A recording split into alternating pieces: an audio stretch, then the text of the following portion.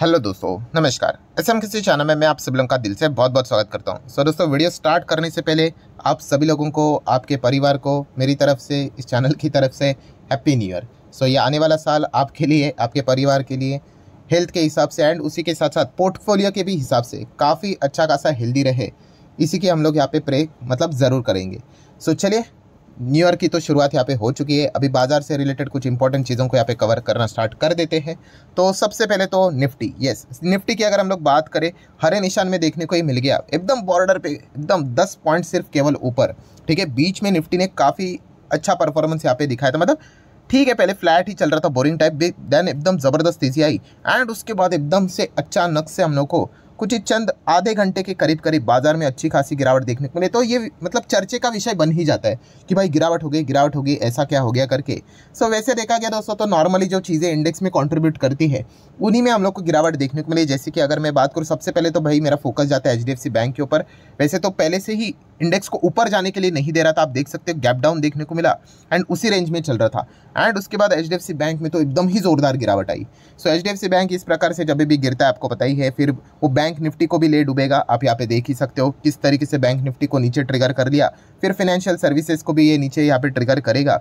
And उसी के साथ साथ जो बाकी के भी अच्छे खासे वेटेज वाले स्टॉक होते हैं, जैसे कि रिलायंस की बात करें, हरे निशान में तो रहा बट यस सेम पैटर्न हम लोग को देखने को मिला, आखिरी चंद घंटों में गिरावट देखने को मिल गई। एंड इन्फोसिस की भी बात करें तो यहाँ पे हम लोग को आखिरी इसमें थोड़ी बहुत गिरावट देखने को मिले। तो इन सभी चीज़ों को अगर हम लोग थोड़ा बहुत जोड़कर देख ले तो अल्टीमेटली कंक्लूजन हम लोग का जो निफ्टी अच्छा यहाँ पे ऊपर जा रहा था, ऐसा लग रहा था अच्छा करेगा बट आखिरी आधे घंटे में इसी चीज़ के चलते नीचे आते हुए देखने को मिला। नॉट अ बिग डील ये चीज़ें मार्केट में रिकरिंग मोड के हिसाब से यहाँ पे हमेशा चलती रहती है।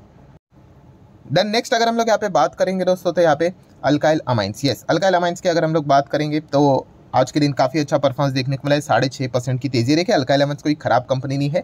वो एज यूजल जो चीज़ें हम लोग को देखने को मिल जाती है, कौन सी? स्टेज वन फिर टू अच्छा लगेगा, तेज़ी के चलते। अगर ब्लाइंडली कोई खरीदेगा, फिर नीचे आएगा तो उनको तकलीफ़ होगी। ठीक है, अगर किसी ने यहाँ पे खरीदा भी होगा तो उनके लिए तो एक ही सोल्यूशन है।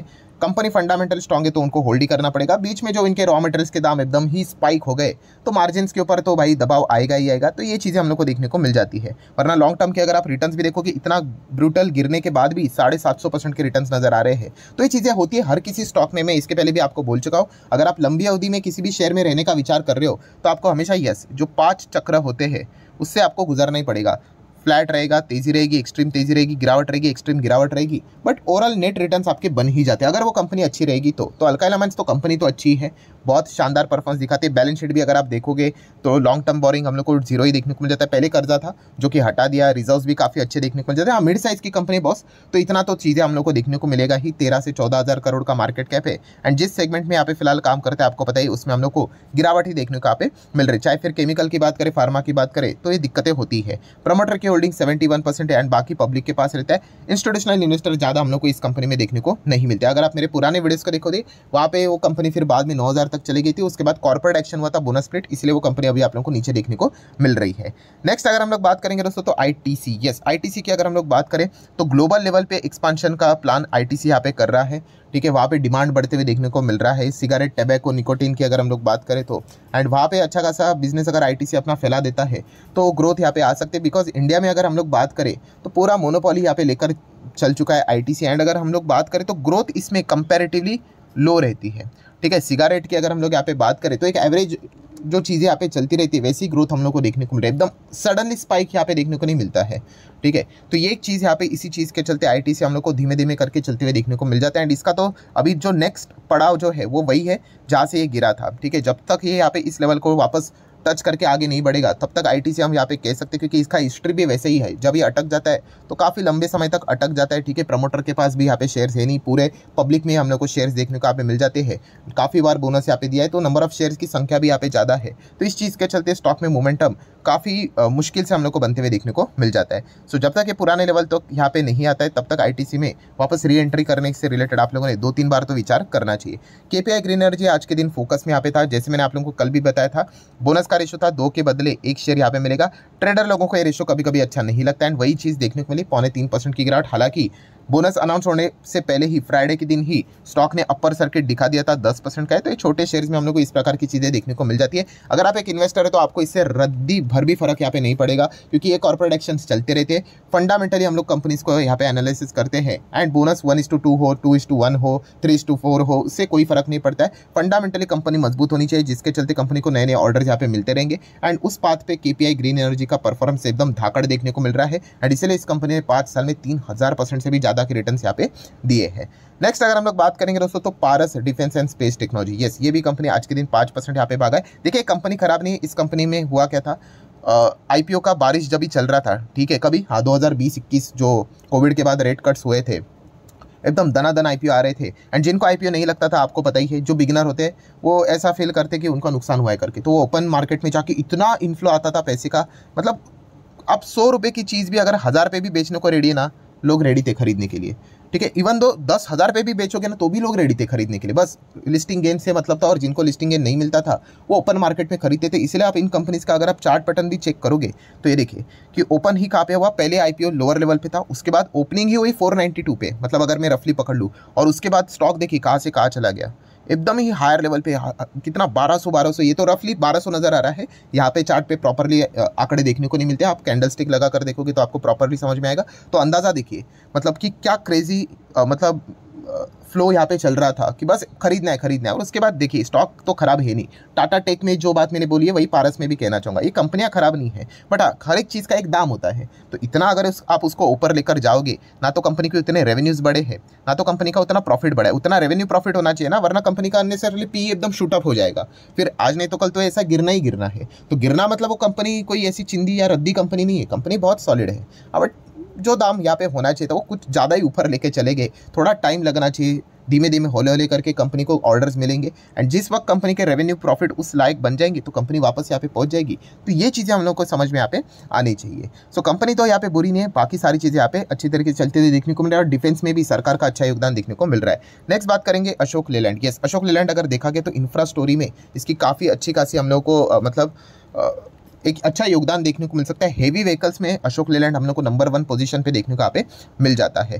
सो so, अशोक लेलैंड की अगर हम लोग बात करें सेम जो ऑटो सेगमेंट में ज़बरदस्त यहाँ पे गिरावट हुई थी 2018 एकदम ही ब्रूटल तरीके से गिरते हुए देखने को यहाँ पे मिला था। ठीक है कितने सारे लोगों ने लॉस में भी बेच दिया तभी भी कहा था कि कंपनी कोई लॉस में बेचने वाली कंपनियाँ नहीं है। गिरावट is equal to exit then congratulation आपको हर एक स्टॉक से ऑपरेटर्स निकाल देंगे क्योंकि हर वक्त कभी ना कभी तो गिरावट होगी। गिरावट के पीछे का रीज़न क्या है वो चेक करना होता है। इसके सेक्टर के जितने भी स्टॉक्स थे, सभी के सभी डाउन थे। तो उसमें कौन सी बात है? हाँ वो बुरा तो ज़रूर लगता है। इसमें कोई शक की गुंजाइश नहीं। थोड़ी ना हम लोग सेलिब्रेट करेंगे, वाह वाह, क्या मस्त गिर रहा है करके। नहीं, बुरा लगता है बट हर एक स्टॉक गिर रहा था तभी, क्योंकि वो पॉलिसी आई वैसी थी, सरकार की लोडिंग कैपेसिटी के साथ शुरुआत हुई थी। आप चाहो तो गूगल करके देखो। लोडिंग कैपेसिटी सरकार ने यहाँ पे क्या कर दी थी? उससे रिलेटेड जो रूल्स थे, वो उन्होंने बदल दिए थे। ठीक है मतलब पहले अगर एक ट्रक में, मान लीजिए, अगर आप सौ सामान लेकर जाते थे। सरकार ने उसको अलाउड कर दिया कि चाहो 120 लेकर जाओ करके। तो इससे क्या हो जाएगा क्या नंबर ऑफ़ ट्रक्स लोग कम खरीदेंगे। एक ही ट्रक में ज़्यादा सामान ठूस कर लेकर चले जाएँगे। ठीक है तो ये ऐसे ऐसे होने के चलते एंड बाद में तो और भी बहुत सारे रूल्स बदल गए। And auto sector lower cycle में स्टार्ट हो गया और कोविड का तड़का लग गया। मतलब जितना बुरा होना था, इतना बुरा हो गया कि चालीस रुपये का टारगेट बताया था अशोक लेलैंड का। एंड आई गेस उसी के आसपास भी पहुँचा था। ठीक है बट इसका अर्थ ये नहीं कि कंपनियाँ खराब हो गई। अगर खराब होती तो आज ये 200 के आसपास नहीं होता। ठीक है एंड अभी फ़िलहाल ठीक ठीक ठाक कर रहा है बिकॉज़ ब्रोकर भी इसके टारगेट अपसाइड पे हम लोग को रिवाइज करते हुए देखने को मतलब ये चीज़ें चलती रहती है। ओवरऑल कॉन्टेक्स में अगर आपको इंफ्रा की स्टोरी इंडिया की अच्छी लगती है एंड वहाँ पर अगर आपको पता ही है सीमेंट, स्टील से रिलेटेड काम करने वाली कंपनी है। तो हेवी व्हीकल्स में भी अगर हम लोग बात करें तो यहाँ पे अशोक लेलैंड का भी ट्रक सेगमेंट में काफ़ी अच्छा परफॉर्मेंस हम लोग को देखने को यहाँ पे मिल जाता है। सो उस डायरेक्शन में अगर आपको कोई स्टॉक चाहिए तो फिर आप इसको ज़रूर अपने रडार के ऊपर यहाँ पे रख सकते हो। इसको कॉम्पिटिशन देने वाली जितने भी कंपनी है ना, वो डायरेक्टली हेवी व्हीकल्स में काम नहीं करती। अभी टाटा मोटर भी है बट टाटा मोटर का मेन पैसेंजर व्हीकल का धंधा है। देन आइशर की बात करें तो वहाँ पे रॉयल इनफील्ड एंड बाकी चीज़ें।